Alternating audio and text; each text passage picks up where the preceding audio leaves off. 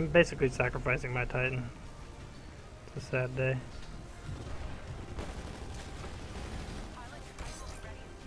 I don't know why he's rage quitting. He doesn't. What the fuck? How's there a Titan in the middle of that freaking?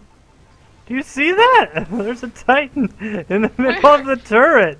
I'm shooting at it right now. It's it's like hacking the turret. I just killed it. Do you see it? No, I'm gonna look though on your screen. Oh shit! I'm dead. yeah, I don't know. what the fuck? Is he stuck? No, he's dead now.